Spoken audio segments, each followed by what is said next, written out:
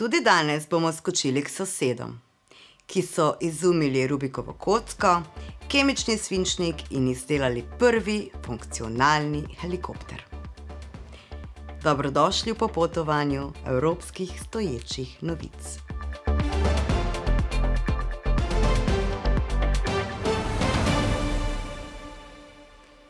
Madžarska je dom skoraj desetim milijonom ljudi. Od tega jih 1,7 milijona živi v glavnem mestu Budimpešti. Budimpešta se nahaja na obeh straneh reke Donave in ima tri dele, ki so skozi stoletja zrasli iz treh mest: Buda, Pešta in Obuda. Metro v Budimpešti je najstarejši podzemni elektrificirani železniški sistem v Evropi in tretja najstarejša podzemna železnica na svetu. Začetki te države segajo v leto 895, kar pomeni, da je starejša od držav kot sta Francija in Nemčija. Mnogi trdijo, da je madžarski jezik med najtežjimi na svetu. Bi znalo biti res, saj ima za začetek že sama madžarska beseda 44 črk. Madžarska meji na sedem držav: Slovaško, Ukrajino, Romunijo, Srbijo, Hrvaško, Slovenijo in Avstrijo. Morja sicer nima, ima pa jezera, med katerimi je največje Blatno jezero, ki je zelo priljubljeno med ljubitelji vodnih športov. Madžari imajo tudi veliko termalnih vrelcev.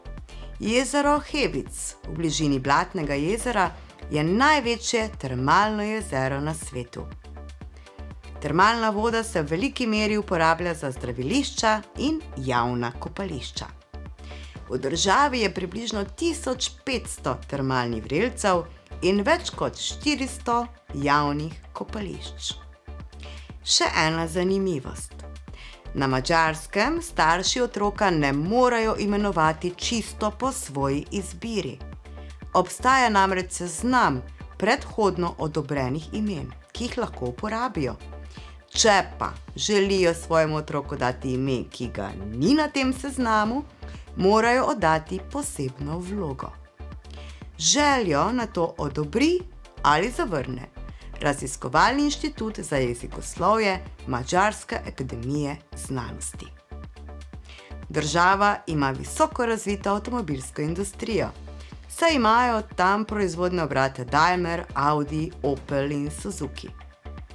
Veliko ljudi zaposluje tudi sektor elektronike in farmacije. Madžari pa so znani tudi po dragoceni keramiki, ročno izdelanih prtih in mleti rdeči papriki, ki so ji posvetili celo dva muzeja.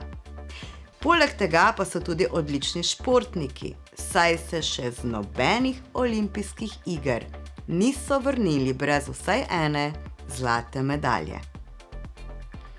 Glavni kmetijski proizvodi so pšenica, koruza, sladkorna pesa, sončnična semena in krompir.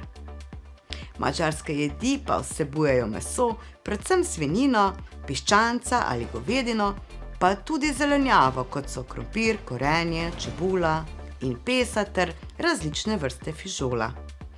V madžarski kuhinji so zelo razširjeni tudi mlečni izdelki.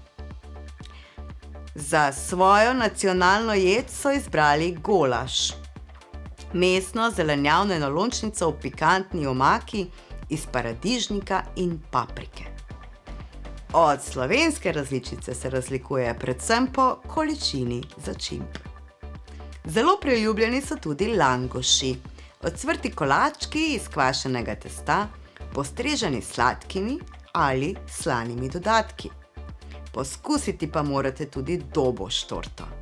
Večplastni biskvit s čokoladno-maslenim nadevom in karamelnim prelivom. Če si boste privoščili pivo, ne trkajte s kozarci. Legenda pravi, da so po neuspeli revoluciji proti Habsburžanom leta 1848 zmagovalci usmrtili 13 madžarskih generalov, po vsaki usmrtitvi pa so trčili s kozarci. Potem so se Mačari zaobljubili, da 150 let ne bodo trčili s pivom. Ta čas je sicer že minil, a običaj je ostal in še vedno trkanje s kozarci piva razumejo kot žalitev. Če vas bodo med obiskom Mačarske mučile kakšne težave, imajo zdravilo, ki naj bi pozdravilo vse bolezni. To je palinka, a jo je treba uživati kot zdravilo v malih količinah. Zdravi ostanite in pazite na se.